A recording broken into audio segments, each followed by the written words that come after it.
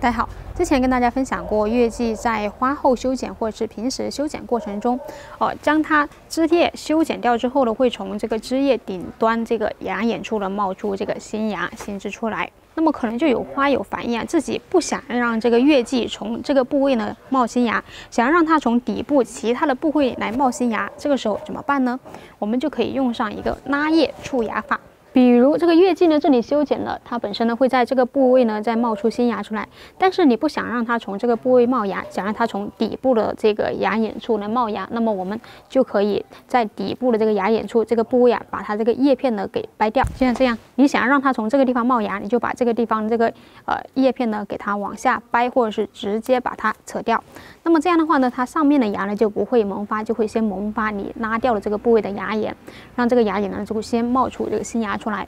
这样的话，对于我们平时呃对于植株的一个整形啊，或者是对它的形状有要求的话，就可以采用这种方法。但是呢，虽然这种方法能够让它冒芽，但是这个芽要想养得壮呢，还是要给它补肥才行。怎么补肥呢？首先我们要增加盆土的营养，增加盆土的营养，我们一般常用的就是给它添加一些这种发酵腐熟好的羊粪，来让盆土的养分更加的充足。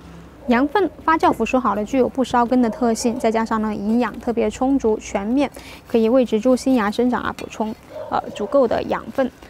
把这个盆土啊适当的铲松一点，一定要沿着盆壁铲。然后呢，把这个羊粪呢沿着这个盆壁慢慢的给它呃埋上一圈就可以了。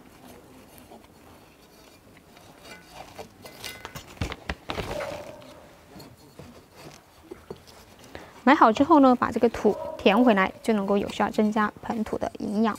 但是呢，增加盆土营养之后呢，我们后期还要给它适当的追肥。追肥可以用这个促生长型的有机营养液。这种营养液呢，它的氮含量比较偏高，再加上磷钾肥又不缺失，可以有效促进这个新芽的生长，还能让新芽养得更壮。